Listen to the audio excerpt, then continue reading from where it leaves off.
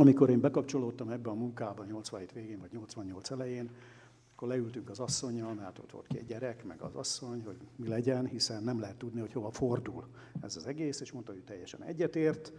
Ő nem csatlakozik ehhez, mert valakinek életbe kell maradni a családból.